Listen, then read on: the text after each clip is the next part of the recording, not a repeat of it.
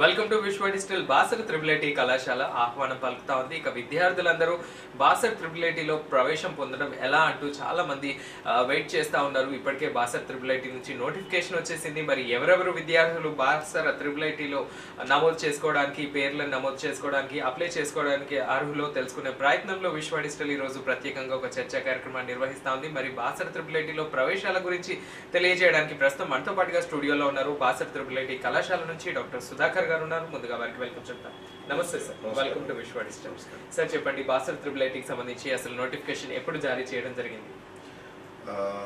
మొట్టమొదట మన నిజామాబాద్ విద్యార్థిని విద్యార్థులకు పదో తరగతి రాసిన విద్యార్థి విద్యార్థులకు మేలు చేసేందుకోసం ఈ కార్యక్రమాన్ని నిర్వహిస్తున్న విశ్వ డిజిటల్ వారికి ముందుగా కృతజ్ఞతలు తెలియజేస్తూ బాసర త్రిబుల్ ఐటి రెండు వేల పద్దెనిమిది పంతొమ్మిది సంవత్సరానికి గాను మరి అడ్మిషన్ నోటిఫికేషన్ ప్రక్రియను ఆల్రెడీ ప్రారంభించడం జరిగింది. ఈ నోటిఫికేషన్ గత నెల ఇరవై ఆరో తారీఖు నాడు ఇవ్వడం జరిగింది అనమాట సో ఈ కార్యక్రమము ఈ నోటిఫికేషన్ ఇచ్చిన తర్వాత సుమారు నెల రోజుల పాటు అప్లికేషన్స్ దరఖాస్తులను స్వీకరించడం జరుగుతుంది. అంటే ఈ నెల ఇరవై ఎనిమిదో తారీఖు వరకు కూడా ఆన్లైన్లో అప్లికేషన్స్ పెట్టుకోవచ్చు. ఆన్లైన్లో అప్లికేషన్స్ పెట్టుకున్న తర్వాత ఈ సేవా సెంటర్లో ఈ ఈ కార్యక్రమాన్ని మనం ఈ అడ్మిషన్ ప్రక్రియను మనం చేయవలసి ఉంటుంది. ఆ తర్వాత దరఖాస్తుల్ని ఆన్లైన్లో నింపిన తర్వాత వాటికి కావాల్సిన హార్డ్ కాపీస్ని ప్రింట్అవుట్ తీసుకొని దానికి సంబంధించిన డాక్యుమెంట్స్ లైక్ రిజర్వేషన్కి సంబంధించిన క్యాస్ట్ ఇన్కమ్ ఇతర సర్టిఫికేట్స్ని టెన్త్ క్లాస్కి సంబంధించిన హాల్ టికెట్స్ని ఇతర మే- ఇతర దరఖాస్తుకు సంబంధించిన అన్నీ జతపరిచి వాటి హార్డ్ కాపీస్ని ఆర్జీకేటీ బాసరా అంటే ట్రిపుల్ ఐటీ బాసరా యొక్క ప్ర కార్యాలయానికి పంపించవలసి ఉంటుంది. అందుకోసం చివరి తేదీ జూన్ నాలుగో తారీఖు. అంటే మీరు ఒకటో తారీఖు లోపు మొత్తం ఆన్లైన్ ప్రక్రియ పూర్తి చేసుకొని విదిన్ ఫోర్ డేస్ లోపు మీరు పంపించాలి. ఈలోగా ఏంటంటే పోస్టల్ డిలేస్ కాకుండా ఉండడం కోసం మీరు వీలైనంత తొందరగా ఈ ప్రక్రియను పూర్తి చేసుకొని మీరు పోస్ట్లో పంపించినట్టయితే సరైన సమయంలో ఇవి యూనివర్సిటీకి చేరుకోవడం జరుగుతుంది. అప్లికేషన్స్ పోస్టల్ డిలేకి యూనివర్సిటీ ఎటువంటి కూడా బాధ్యత వహించదు కాబట్టి విద్యార్థిని విద్యార్థులు దీన్ని గమనించగలరు. ఇకపోతే సెలక్షన్ ప్రక్రియకు సంబంధించి ఏవైతే అప్లికేషన్స్ వస్తాయో అప్లికేషన్స్ వచ్చిన తర్వాత ఈ సెలక్షన్ లిస్ట్ని అంటే మెరిట్ లిస్ట్ని యూనివర్సిటీ తయారు చేయడం జరుగుతుంది. తయారు చేసిన మెరిట్ లిస్ట్ని మనకు జూన్ పదకొండో తారీఖు యూనివర్సిటీ వెబ్సైట్లో ఇతర ప్రధాన వెబ్సైట్లలో అన్నింటిలో కూడాను వీటిని ఉంచడం జరుగుతుంది. సో యూనివర్సిటీ వెబ్సైట్ ఈ నెల జూన్ నెల పదకొండో తారీఖు నాడు యూనివర్సిటీ వెబ్సైట్లో పొందుపరుస్తారు. అన్ని సీట్లకు గాను అంటే జనరల్ కోటా అంటే ఇందులో ఎస్సీ ఎస్టీ బీసీ ఇతరత్ర అన్ని అన్ని వర్గాలకు సంబంధించిన కోటాస్ అన్నిటి కూడా ఆన్లైన్లో ఆన్లైన్లో ఉంచడం జరుగుతుంది. తర్వాత దాంతో పాటుగా special category like NS NCC sports cap physically handicapped లేదా గ్లోబల్ ఎన్ఆర్ఐ కోటాకు సంబంధించిన సీట్లకు సంబంధించిన మెరిట్ లిస్ట్ను కూడా ఆన్లైన్లో పొందుపరచడం జరుగుతుంది. ఇదంతా కూడా మనకు జూన్ పదకొండో తారీఖు లోపు ఆన్లైన్లో తెలియజేయడం జరుగుతుంది. సో విద్యార్థిని విద్యార్థులు ము- ముఖ్యంగా ఆన్లైన్లో మీరు అప్లికేషన్ని నింపండి. నింపిన వాటిని నాలుగో తారీఖు జూన్ నాలుగో తారీఖు లోపు పోస్టల్ డిలే కాకుండా వీలైనంత తొందరగా పంపించండి. సో అప్పుడు మిమ్మల్ని మెరిట్ లిస్ట్లో కన్వర్ట్ కన్సిడరేషన్లో తీసుకోవడం జరుగుతుంది. ఇదంతా ఒక ప్రక్రియ. ఇదేది సెలక్షన్ లిస్ట్ ప్రకటించేంత వరకు. ఆ తర్వాత ఈ కౌన్సిలింగ్ ప్రక్రియ అంటే సర్టిఫికేట్ వెరిఫికేషన్స్ మరియు అడ్మిషన్ ఇచ్చే కార్యక్రమము మనకు జూన్ నెల ఇరవై ఒకటో తారీఖు పద్దెనిమిదో తారీఖు నుంచి ప్రారంభమవుతుంది. ఈ జనరల్ కోటా సీట్లు అంటే నార్మల్గా local candidates non local candidates SC ST BC ఇవన్నీకి సంబంధించిన క్యాండిడేట్కి సంబంధించినంత వరకు ఇది యొక్క అడ్మిషన్ ప్రక్రియ సర్టిఫికేట్ వెరిఫికేషన్ మరియు అడ్మిషన్ ఇచ్చే ప్రక్రియ జూన్ పద్దెనిమిది పంతొమ్మిదో తారీఖులో జరుగుతుందన్నమాట. ఆ తర్వాత స్పెషల్ కోటాకు సంబంధించి అంటే ఎన్సిసి స్పోర్ట్స్ ఆర్మ్డ్ ఫోర్సెస్ అంటే ఆర్మీ కోటాలో ఉన్న వాళ్ళకి physical handicapped global NRI quota. ఈ రెండు కూడా ఇరవై ఒకటో తారీఖు నుంచి మొదలుకొని ఇరవై ఐదో తారీఖు జూన్ వరకు అంటే జూన్ ఇరవై ఒకటి నుంచి ఇరవై ఐదో తారీఖు వరకు ఈ ప్రక్రియ నడుస్తుంది. ఇక ఏమైనా మిగిలిపోయిన సీట్లు జాయిన్ అవ్వని వారి సీట్లు ఇవన్నిటికి సంబంధించి సెకండ్ ఫేజ్ ఆఫ్ కౌన్సిలింగ్ ఇరవై ఆరు జూన్ జూన్ ఇరవై ఆరు తారీఖు నాడు జరుగుతుంది కాబట్టి విద్యార్థులు గమనించగలరు. ఇక ఈ ప్రక్రియ అడ్మిషన్ ప్రక్రియ అంతా కూడాను జూన్ నెలలో ముగిసి మరి క్లాసులు ప్రారంభం అనేది రెండవ తారీఖు జూలై జూలై రెండు నుంచి విద్యార్థిని విద్యార్థులు ఓరియంటేషన్కి సెలెక్ట్ అయిన విద్యార్థులు అడ్మిషన్ ప్రక్రియ పూర్తి చేసుకున్న విద్యార్థిని విద్యార్థులు జూలై రెండో తారీఖు నుంచి క్లాసులకు అటెండ్ కావాల్సి ఉంటుంది. జూలై రెండు నాడు వీరందరికీ పరిచయ కార్యక్రమము అధికారికంగా పరిచయ కార్యక్రమము వ్యవసాయ యూనివర్సిటీ యొక్క విద్యా విధానంపై వీరందరికీ ఒక పరిచయ కార్యక్రమం నిర్వహిస్తుంది. మూడో రెండో తారీఖు జూలై మూడు నుంచి క్లాసులు యథావిధిగా ప్రారంభమవుతాయి. రైట్ సార్ చాలా చక్కగా వివరించారు. అడ్మిషన్స్ ప్రక్రియ నుంచి కౌన్సిలింగ్ ఆ తర్వాత ఏ విధంగానైతే ఎంట్రీ ఉంటుందో స్టూడెంట్స్ అందరికీ. మరి ఇంత చక్కగా వివరించారు కదా చాలా మందికి ఒక డౌట్ ఉంటుంది. అసలు ఈ ఎలాంటి విద్యార్థులు అర్హులు అని? చాలా మంది తెలుగు మీడియం బ్యాక్గ్రౌండ్ నుంచి ఉంటారు ఇంగ్లీష్ మీడియం బ్యాక్గ్రౌండ్ నుంచి ఉంటారు గ్రామీణ విద్యార్థులు సిటీ పిల్లలు ఇలా చాలా మంది డిఫరెంట్ డిఫరెంట్ విద్యార్థులు ఉంటారు. అసలు ఎలాంటి విద్యార్థులు అర్హులు? మినిమం టు మినిమం ఎంత జీపీఏ ఇప్పుడు జీపీఎస్ వచ్చేసాయి. సో ఎంత జీపీఎస్ సాధిస్తే విద్యార్థులు అర్హులు అంటారు? అసలు ఎలాంటి స్టూడెంట్స్ అప్లై చేసుకోవడానికి అర్హులు? అయితే ఈ విద్యా విధానము అక్కడ అడ్మిషన్ ప్రక్రియ విధానం గురించి మీరు అడిగారు. చాలా చక్కటి ప్రశ్న చాలామంది విద్యార్థులకు దీని మీద అనేక సందేహాలు ఉంటాయి.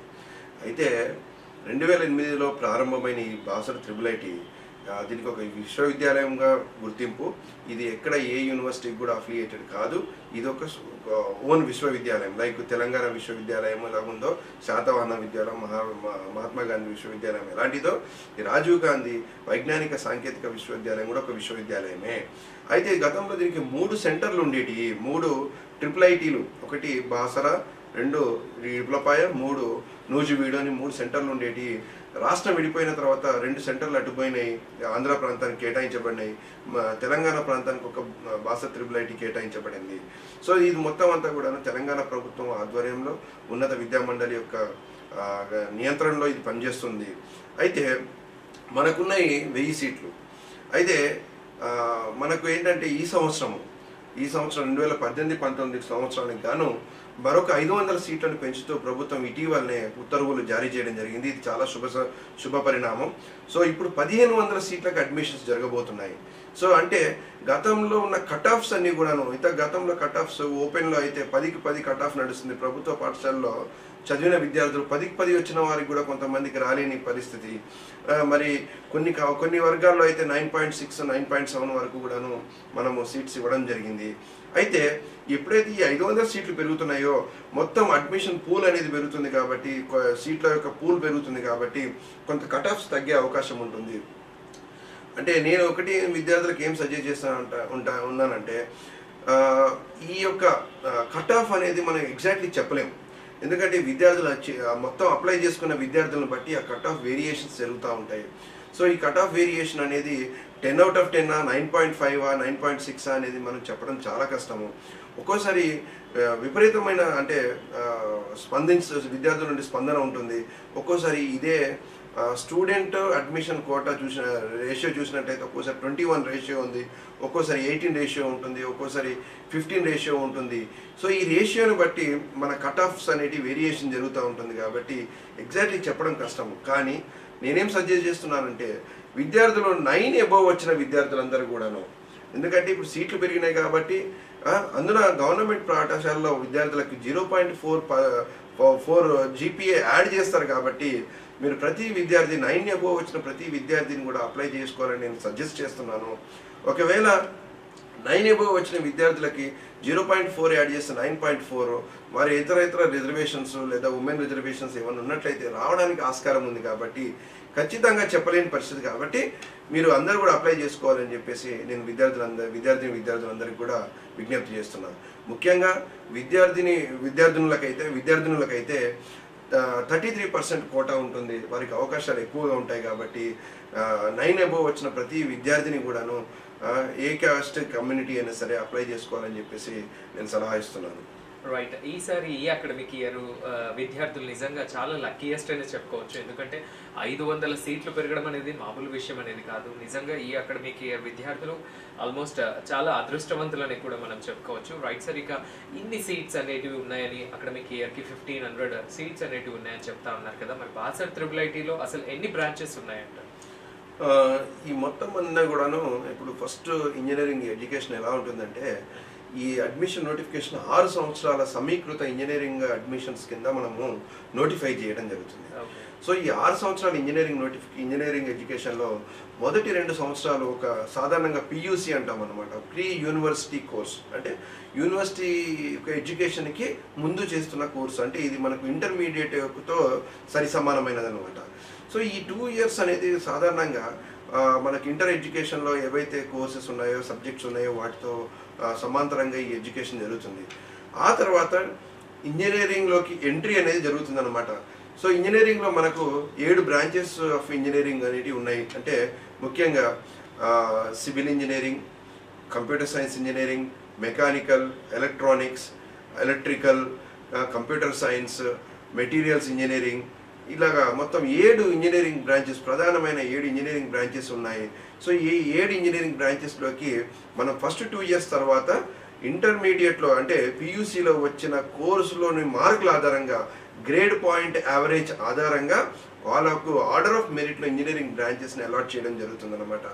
సో మొదట రెండు సంవత్సరాల్లో కూడాను నాలుగు సెమిస్టర్స్గా ఈ కోర్సుని నిర్వహించడం జరుగుతుంది. ఈ ఇవి నాలుగు సెమిస్టర్స్లో విద్యార్థులు ప్రతి సెమిస్టర్లో ఎగ్జామ్స్ రాయాలి వాటిలో గ్రేడ్ పాయింట్ యావరేజ్ ఉంటుంది. ఆ వాటన్నిటిని క్యూములేటివ్గా తీసుకున్నట్లయితే ఎవరికి హయ్యెస్ట్ గ్రేడ్ పాయింట్ వస్తుందో వాళ్ళకి ఇంజనీరింగ్లో వారికి నచ్చిన బ్రాంచెస్ని చూజ్ చేసుకోవడానికి అవకాశం ఉంటుందన్నమాట. సో ఇది అంటే ఒక అడ్మిషన్ వచ్చినంత మాత్రాన ఇక్కడ ఏ బ్రాంచ్ అయినా వస్తుంది నాకు నచ్చిన బ్రాంచ్ వస్తుంది అనేది గ్యారంటీ లేదు. కాబట్టి విద్యార్థులు ఫస్ట్ టూ ఇయర్స్ కూడా చాలా కష్టపడి చదవాలి. దాన్ని బేస్ చేసుకొని వాళ్ళకి ఇంజనీరింగ్లో బ్రాంచెస్ని అలాట్ చేయడం జరుగుతుంది అనమాట రైట్ సార్ అదేవిధంగా ఇప్పుడు ఈ విద్యార్థులు ఏదైతే కోర్సుల కోసం ఇప్పుడు బాసర్ ట్రిపుల్ ఐటీలో అడ్మిషన్స్ పొందడానికి రెడీగా అప్లై చేసుకుంటారో ఈ అడ్మిషన్స్ ప్రక్రియ అనేది అసలు ఎవరి ఆధ్వర్యంలో జరుగుతాం సో ఈ అడ్మిషన్ ప్రక్రియ అంతా కూడాను యూనివర్సిటీకి వైస్ ఛాన్సలర్ గారు సెల అడ్మిషన్ కమిటీకి చైర్మన్గా ఉంటారు. సో వైస్ ఛాన్సలర్ గారు ఆధ్వర్యంలో కన్వీనర్ ఉంటారు. కన్వీనర్ వారు ఈ ఎప్పటికప్పుడు అప్లికేషన్స్ రిసీవ్ చేసుకోవడము వాటిని సార్టింగ్ చేయడము వాటిని స్క్రూటినైజ్ చేయడము వెరిఫై చేయడము మెరిట్ లిస్ట్ని ప్రిపేర్ చేయడము అడ్మిషన్ ప్రక్రియ నిర్వహించడం అనేది కూడా కన్వీనర్ గారు చూస్తుంటారు. On the whole university admission committee అనేది ఉంటుంది. ఈ అడ్మిషన్ కమిటీ మొత్తం స్క్రూటినైజ్ చేసేసి వైస్ ఛాన్సలర్ గారు చైర్మన్ గారి యొక్క ఆమోదంతో ఈ ఇంజనీరింగ్ ప్రక్రియ అడ్మిషన్ ప్రక్రియ నడుస్తుంది అనమాట ఓకే సార్ అదేవిధంగా అడ్మిషన్స్ ప్రక్రియలో భాగంగా చాలా మంది విద్యార్థులు కొన్ని కొన్ని సర్టిఫికెట్స్ అనేది ఖచ్చితంగా తెచ్చుకోవాలి అని ఇన్స్ట్రక్షన్స్ ఏమైనా ఉన్నాయంటారు? అంటే ఓపెన్గా కోటాలో పోటీ చేసే అంటే అడ్మిషన్ పొందగోరు విద్యార్థులకు మనకు సాధారణంగా only class tenth merit local candidate certificate. Local candidate అంటే మీరు సిక్స్త్ టు టెన్త్ క్లాస్ ఎక్కడ చదివారు? ఎందుకంటే ఇది మనకు గవర్నమెంట్ రాష్ట్రపతి ఉత్తర్వుల ప్రకారం అయితే ప్రతి లోకల్ విద్యార్థి అంటే ఆరో తరగతి నుంచి పదో తరగతి వరకు ఈ seven four out of seven years ఎక్కడ ఎడ్యుకేషన్ చేస్తారో అక్కడ లోకల్ క్యాండిడేట్గా భావించబడుతుంది కాబట్టి విద్యార్థిని విద్యార్థులు వీరు మీరు లోకల్ క్యాండిడేట్ సర్టిఫికేట్ లేదా స్టడీ సర్టిఫికేట్స్ని రెడీగా ఉంచుకోవాలి.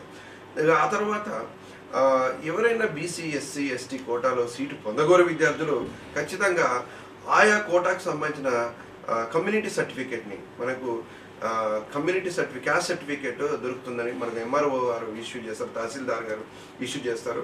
ఆ సర్టిఫికేట్ని మనము ప్రొడ్యూస్ చేయవలసి ఉంటుంది. ఇక విద్యార్థులు ఫీజు రియంబర్స్మెంట్ కోరుకునేవారు. ఇన్కమ్ సర్టిఫికేట్ని ఇతర అన్ని అన్ని వర్గాలు అయితే లక్ష ఇతర ఎస్సీ ఎస్టీ వర్గాలు అయితే రెండు లక్షల లోపు ఇన్కమ్ సర్టిఫికేట్ని ప్రొడ్యూస్ చేయవలసి ఉంటుంది. అది ప్రొడ్యూస్ చేసినట్లయితే ఫీజు వేవర్ అనేది అడ్మిషన్స్లో రియంబర్స్మెంట్ వేవర్ అనేది ఉంటుంది కాబట్టి సో అది ప్రొడ్యూస్ చేయవలసి ఉంటుంది. అది దాంతో పాటుగా ఈ లోకల్ క్యాండిడేట్కి సంబంధించి ఏది మనకు స్టడీ సర్టిఫికేట్స్ ప్రొడ్యూస్ చేయాలి original class tenth memo and hall tickets ఇవన్నీ కూడా ప్రొడ్యూస్ చేయవలసి ఉంటుంది. ఇవన్నిటిని నకలుని ఫస్ట్ అడ్మిషన్కి హార్డ్ కాపీస్ పంపాలి కదా ఇవన్నిటిని కూడా మనం పంపించవలసిన అవసరం ఉంటుంది. సో వాటిని వెరిఫై చేసి అడ్మిషన్స్ని అడ్మిషన్ లిస్ట్ మనకు డిస్ప్లే చేస్తారు. Okay sir. అదేవిధంగా ఇంత అడ్మిషన్స్ ప్రాసెస్ అనేది కంప్లీట్ చేసి ఒక స్టూడెంట్ బాసర్ త్రిబులేటోకి ఇన్ అయినప్పుడు అంటే ప్రవేశం పొందినప్పుడు ఫ్యాకల్టీస్ ఏ విధంగా ఉంటారు? మన అక్కడ చాలా మంది పేరెంట్స్కి అదే డౌట్ ఉంటుంది. బాసర్ త్రిబులైటీ అంటే చాలా పెద్ద సంస్థ. చాలా మంది త్రిబులైటీలో ప్రవేశం పొందడమే చాలా అదృష్టం అని అట్లాంటి రోజులు ఇవి. సో అక్కడ ఫ్యాకల్టీస్ ఏ విధంగా ఉంటారు? ఇప్పుడు ఫస్ట్ చాలా మంచి ప్రశ్న అడిగారండి ఫనీ గారు. ఎందుకంటే బాసర త్రిబుల్ ఐటీ అనేది it is established for the purpose of providing high quality technical education to rural students of rural students of Telangana అంటే విద్యార్థులకు ఉన్నత విద్యని ఉన్నత ఉన్నత నాణ్యతతో కూడిన విద్యని అది సాంకేతిక విద్యను అందజేయాలని చెప్పేసి మనకు ఇది ఏర్పాటు చేయడం జరిగింది రెండు వేల ఎనిమిదిలో. ఎందుకంటే ఐఐటిలో తక్కువ సీట్లు ఉంటాయి కాబట్టి తెలంగాణ ఆంధ్ర నుంచి విపరీతమైన పోటీ ఉంది. కాబట్టి ఐఐటిని స్థాయి విద్యను మనం ఇక్కడే అందించినట్లయితే మనకు పిల్లలకు మేలు చేసినగలుగుతామని చెప్పేసి అప్పటి ప్రభుత్వాలు అప్పటి నాయకత్వము మరి ఇది ఏర్పాటు చేయడం జరిగింది. అంటే ఈ యొక్క- దీని యొక్క పుట్టుక ఆర్జీవికేటి బాసరా లేదా త్రిబుల్ ఐటి బాసరా అనే దాని పుట్టుకనే నాణ్యత కోసం ఏర్పడింది కాబట్టి ఆ నాణ్యత అనేది ఎక్కడి నుంచి వస్తుంది? కేవలము బిల్డింగ్స్ ఉంటేనో లేకపోతే ల్యాబొరేటరీస్ ఉంటే కాదు రాదు. ఇది వస్తుందంటే ఉన్నతమైన టీచర్స్ ఒక ఉన్నత స్టాండర్డ్తో ఉన్న నాణ్యతతో కూడిన టీచర్స్ ఉంటేనే సాధ్యమవుతుంది అయితే నేనేం చెప్తున్నానంటే ఆర్జీవికేటి బాసరా లేదా త్రిబుల్ ఐటీ బాసర్లోని టీచర్స్ అందరూ కూడాను ఐఐటీస్ నుంచి సెంట్రల్ యూనివర్సిటీస్ నుంచి ఒక ఉన్నత ఉన్నత సంస్థల నుంచి తీసుకురాబడిన వారు. ఎన్నో విగ్రస్ ఇంటర్వ్యూ ఫేజెస్ని టెస్టింగ్ ఫేజెస్ అన్నీ కూడా క్రాస్ చేసుకొని వచ్చి ఒక స్టాండర్డ్ డాక్టరేట్స్ ఇంకా ఇతరత్ర పోస్ట్ డాక్టరేట్స్ లాంటి ఉన్నత విద్యను అభ్యసించిన వారు ఉన్నారు. సో నాణ్యత విషయంలో ఆర్జీకేటి భాషలో ఎట్టి పరిస్థితుల్లో రాజీ పడదు. ఎందుకంటే రాజీ లేని పోరాటం ఈ ఒక్క విషయంలో మాత్రం ఆర్జీకేటి ఉన్నది మొదటి నుంచి కూడా. సో విద్యార్థులకు ఉన్నతమైన విద్య అందుతుందనలో అందుతుంది అనడంలో ఎటువంటి సందేహం అవసరం లేదు. Okay sir super quality of teachers అక్కడ ఫ్యాకల్టీస్ రెడీగా ఉన్నారని మీరు చెప్తా ఉన్నారు. బట్ చాలా మంది గ్రామీణ విద్యార్థులు ఇప్పటికీ ఇంకా తెలుగు మీడియం బ్యాక్గ్రౌండ్ స్టూడెంట్స్ ఉంటారు. అలాంటి తెలుగు మీడియం బ్యాక్గ్రౌండ్ స్టూడెంట్స్కి ఒకటేసారి ఇంగ్లీష్లోకి అంటే చాలా ఇబ్బంది పడతారు. సో ఇంగ్లీష్లో ట్రైన్ అప్ చేయడానికి మీరు ఎలాంటి చర్యలు చేపడతా ఉన్నారు కాలేజ్లో? ఇది ప్రతి సంవత్సరం మేము ఫేస్ చేస్తున్న సమస్య యూనివర్సిటీ తరపు నుండి. ఎందుకంటే ఈరోజు మనకు గ్రామీణ ప్రాంతాల నుంచి ఎందుకంటే జీరో పాయింట్ ఫోర్ గ్రేడ్ని యాడ్ చేస్తున్నాం కాబట్టి majority of the students fifty to sixty percent of the students అందరు కూడాను గ్రామీణ ప్రాంతం నుంచి వచ్చిన వాళ్ళే ఉంటారు. సో ఇలాంటి వాళ్ళు ఏంటంటే గవర్నమెంట్ పాఠశాల నుంచి వచ్చిన వాళ్ళు వాళ్ళు కొద్దిగా కమ్యూనికేషన్ స్కిల్స్ లేనివారు. నెక్స్ట్ తెలుగు మీడియం బ్యాక్గ్రౌండ్ నుంచి వచ్చిన వారు. ఇలా ఉండడం అనేది కొంచెం మాకు సమస్యాత్మకంగానే ఉన్నది. అయితే మేము ఏం చేస్తామంటే first six to six months to one year అంతా కూడాను వీరికి ఇంగ్లీష్ కమ్యూనికేషన్లో మనము వీళ్ళకు సపోర్ట్ ఇవ్వడం జరుగుతుంది. ఇప్పుడు మాకు ఐబీ గ్రూప్స్ అని లేకపోతే ఇతర కొన్ని ఇంగ్లీష్కి సంబంధించిన ఆర్గనైజేషన్స్తో ఇంగ్లీష్ స్పోకెన్ ఇంగ్లీష్తో కానీ లైఫ్ స్కిల్స్ సాఫ్ట్ స్కిల్స్ అనే సంస్థలతో మాకు టైప్స్ ఉన్నాయి. వీళ్ళందరూ కూడా మొదటి సంవత్సరము అంతా కూడాను విద్యార్థులకి ఇంగ్లీష్ పై గ్రిప్ని ఇచ్చే కార్యక్రమాన్ని ఇంగ్లీష్ పై ఒక పటుత్వాన్ని కల్పించే కార్యక్రమాన్ని మేము చేస్తూ ఉంటాము.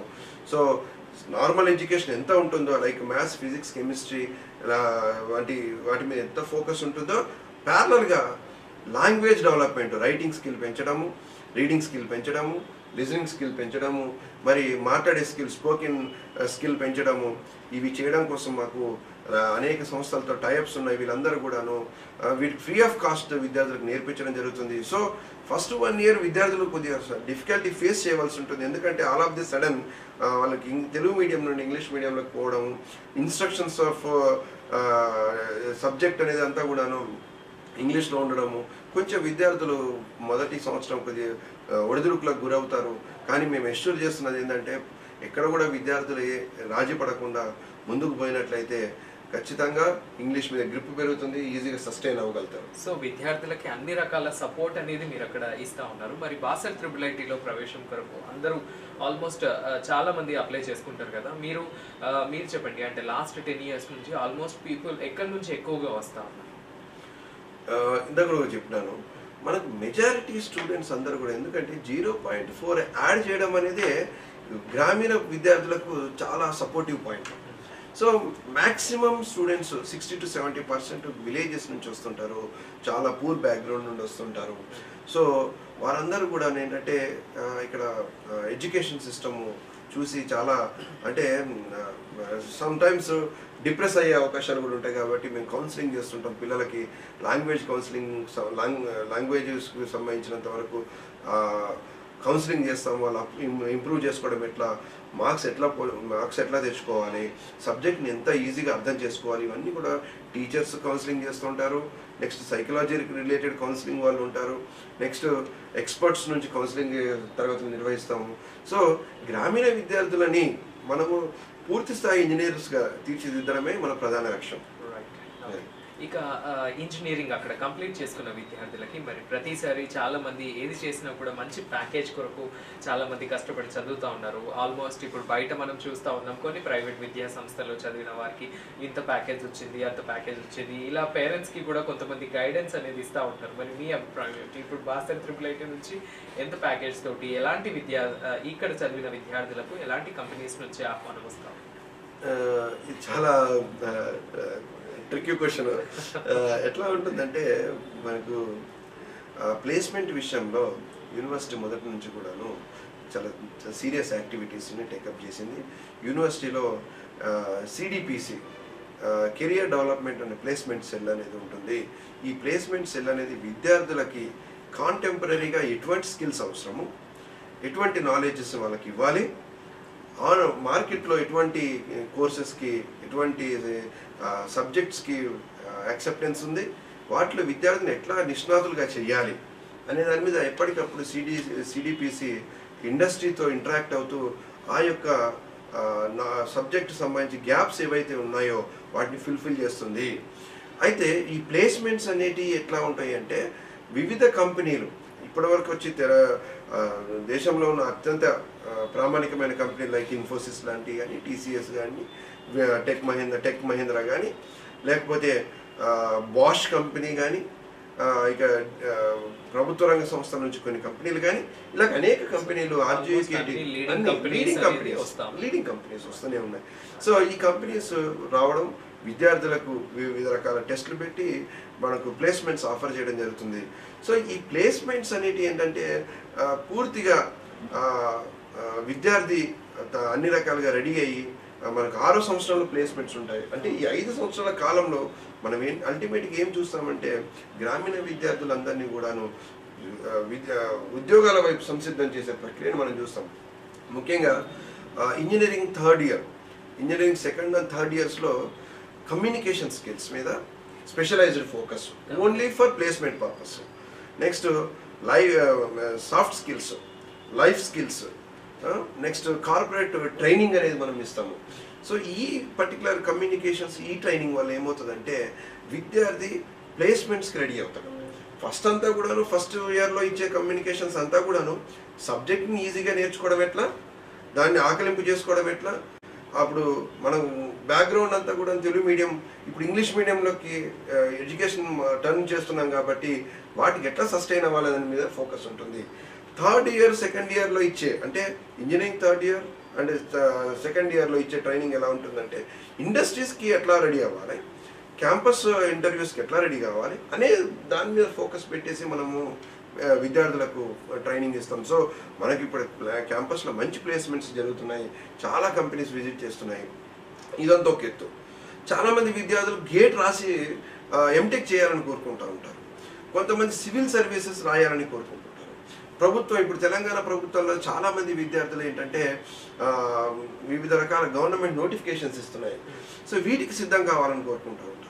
సో అప్పుడు వాళ్ళకి ఏం చేస్తున్నామంటే మనం గేట్ రాయాలని ఆసక్తి ఉన్న వాళ్ళందరూ కూడా GATE రాసేందుకోసం GATE coaching free of cost GATE coaching ఇస్తున్నాము. నెక్స్ట్ సివిల్స్ కోచింగ్ ఇస్తున్నాము. సో ఇది ఈ విధంగా అటు వెళ్ళాలనుకున్న వాళ్ళకి ఆ మార్గము లేదా ఇండస్ట్రీస్కి వెళ్ళి జాబ్ చేయాలనుకున్న వాళ్ళకి అదొక మార్గము.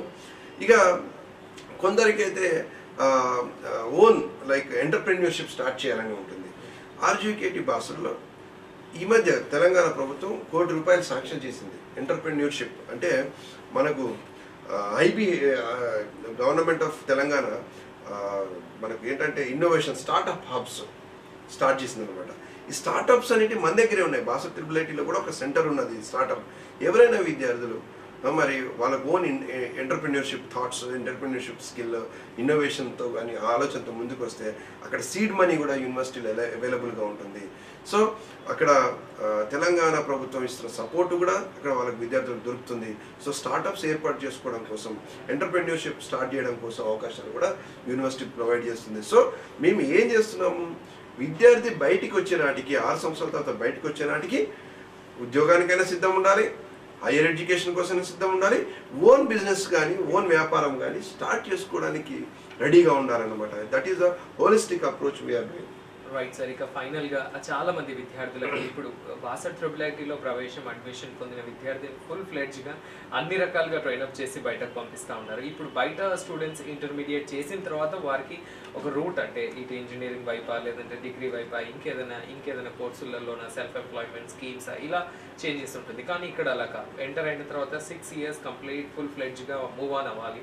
సో అలాంటి విద్యార్థులకి మీరు ఇంకా ఎలాంటి అకామిడేషన్స్ కానివ్వండి అట్మాస్ఫియర్ ఎలాంటి కల్పి కల్పిస్తా ఉన్నారు విద్యార్థులకు సిక్స్ ఇయర్స్ ఇంజనీరింగ్ ప్రోగ్రామ్ అనేది చాలా long duration to be honestly speaking ఆరు సంవత్సరాలు ఒక విద్యార్థి ఇల్లు వదిలి యూనివర్సిటీనే ఇంటి ఇల్లుగా చేసుకుంటాడు. మెయిన్ పేరెంట్స్ ఎవరైతే అమ్మాయిల పేరెంట్స్ ఉంటారో వాళ్ళకి ఇల్లు వదిలి వారు మా క్యాంపస్ని ఇల్లుగా చేసుకుని ఉంటాడు కాబట్టి ఒక ఇంట్లో ఎటువంటి పరిస్థితులు అయితే ఎటువంటి ఆహ్లాదకరమైన పరిస్థితి ఉంటుందో కొన్ని సందర్భాల్లో నేను చెప్తున్నా ఇంటికంటే మంచి పరిస్థితులు మేము ఇవ్వగలుగుతున్నాం. ఓకే.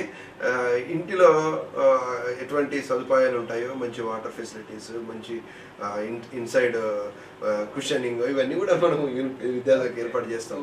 ఇక ఫుడ్ ఫెసిలిటీస్ ఏంటి మనం కూడా విద్యార్థులకు మంచిగా ఇంట్లో పౌష్టికాహారాన్ని మనం విద్యార్థులకి ఆల్మోస్ట్ అన్ని మంచి రేంజెస్ ఇంట్లో కూడా మనకు ఒక ఒక రెండు ఐటమ్స్ ఉంటాయి మనకు. కానీ ఇక్కడ విద్యార్థులకి ఫైవ్ సిక్స్ ఐటమ్స్ మార్నింగ్ బ్రేక్ఫాస్ట్లో అయితే ఒక టూ ఐటమ్స్ మధ్యాహ్నం లంచ్ అండ్ డిన్నర్లో ఫోర్ ఫైవ్ ఐటమ్స్ ఉంటాయి. మన ఇళ్ళలో కూడా మనం చూడం అట్లాంటి అకామిడేషన్ ఫుడ్ విషయంలో ఎటువంటి రాజీ పడము. ఇక మెయిన్ ఎందుకు ఇంత ఫోకస్డ్ ఉంటుందంటే ఈ ఇంజనీర్లు కావాలంటే వారు చాలా కష్టించి పని సో ఈ ఆరు సంవత్సరాల కాలంలో మంచి ఇంజనీర్గా ఎదగాలంటే వారు మానసికంగా చాలా టైం ఇన్వెస్ట్ చేయాలి. సో దానికి సరిపోవాల్సింది ఎనర్జీ. సో ఈ ఎనర్జీ మనకి ఇవ్వాలి. అక్కడ చదువుకోవడానికి సరిపోయేంత ఆహ్లాదకరమైన పరిస్థితులు మనం కల్పించాలి. లేని పక్షంలో విద్యార్థి ఎంతగానో కుంగిపోవడము లేదా డిప్రెస్ అవ్వడం జరుగుతుంది. సో వారికి శారీరకంగా బలాన్ని ఇచ్చే విధంగా వారికి ఫుడ్ అవన్నీ కూడా మనము NIN national institute of nutrition అనే ఈ సంస్థ వారి ఏదైతే నిర్దేశించారో వారి యొక్క మార్గదర్శకాల మేరకు మేము విద్యార్థులకు మెనూ తయారు చేసాము. ఫుడ్ మేము అది ఏర్పాటు చేస్తున్నాము.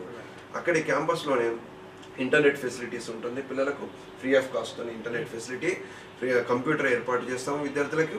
నెక్స్ట్ ఫుడ్ అండ్ అకామిడేషన్ ఇబ్బంది ఉండదు. ఇంకా గేమ్స్ అండ్ స్పోర్ట్స్కి సరిపోయేంత సదుపాయాలు ఉన్నాయి. అన్నీ ఉన్నాయి. ఇక ఆర్జీకేటీలో ఏంటంటే ఒక మంచి థియేటర్ కూడా ఉంటుంది. విద్యార్థులకు వీకెండ్స్లో మూవీ కూడా ప్లే చేయడం జరుగుతుంది.